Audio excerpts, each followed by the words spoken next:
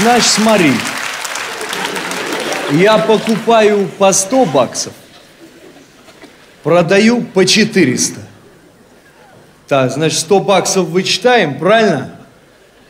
Вот эти 3% мои.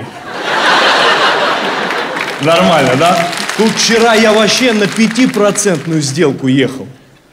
И в пробке застрял. В автомобильной. А тут еще водила мой на нервы действует. Говорит, шеф, полчаса отдыхаем. Пробка охренетительнейшая. А у меня сделка горит. Все, думаю, кранты. Надо на метро щемиться. Он говорит, шеф, а ты хоть раз в метро в глаза видел? Я говорю, конечно, видел. По видику. Там еще буква М написана. А, ну тогда бог помощь, только смотри, Макдональдс не промахнись. Ну, я не промахнулся. Нашел помещение с буквой М. Пацаны, вы что подумали? Все четко написано метрополитен, а там как в навороченном банке. Турникеты стоят, все чики-пики, охрана. Ну, я свою кредитную карточку достал, она в турникетную скважину не запихивается. Смотрю, у народа пластиковые карточки, во, как фишки в казино. Ну, жетоны, да, и запихиваются. Я говорю, братва лихая, вы где их надыбали? И дед какой-то мне шумит. Говорит, видишь, сбоку конура в стене. Целых полторы тысячи там энд стоит. Обдираловка. Так я, сынок, нарочно по пензионным туды-суды шастаю. На халявку. Я так прикинул, ну в натуре откуда у деда полторы штуки баксов? Ну а мне ж каждая секунда дорога. Я полторы штучки гринов отсчитал в эту конуру. Все.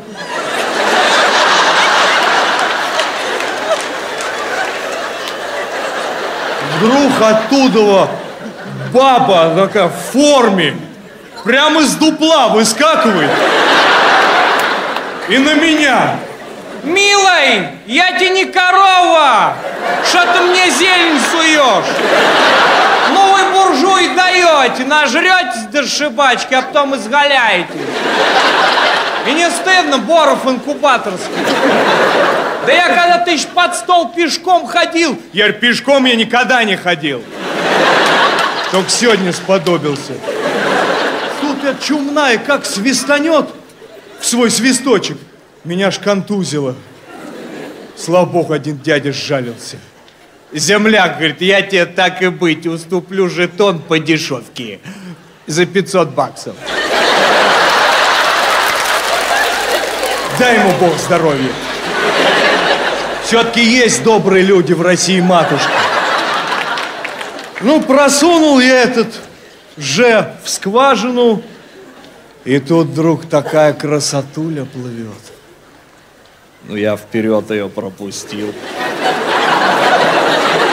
Сам следом.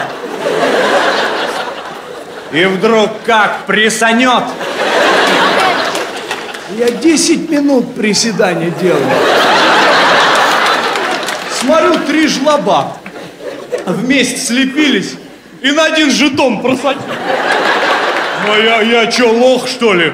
Тоже к какому-то хмырю поплотнее пристроился. Только турникет прошли. Он мне, ах ты шалонишь! И как понес меня бегом по эскалатору. Еле от него отбился. Он меня в какой-то переход заволок. А в этом переходе круче, чем в ночном кабаке. Такое ништяковое шоу. Кто на гармошке, кто на дудке, кто на костылях. Все с этикетками.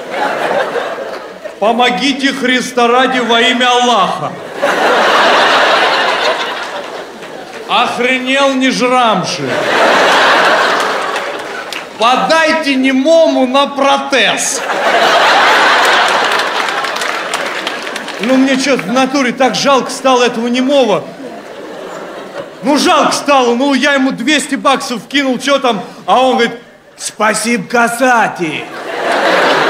Да еще 300. Тебе без ноги рэп станцует. Но тут как раз поезд подали. Я метнулся, а в этом поезде беспредел творится. Не то, что и СВ. Купе ни одного нету. Я чуть не задохся в этом общем вагоне.